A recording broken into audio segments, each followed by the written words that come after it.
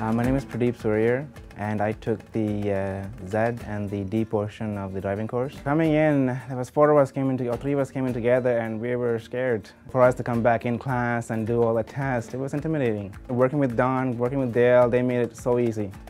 It was, it was the easiest thing I've ever done. And I've done university and everything else. I was expecting a typical driving course that you do when you drive your car and there was a lot more on that. Um, they don't just teach you theory, they teach you practical, they teach you how, how to handle your truck, how to, how to work with the truck.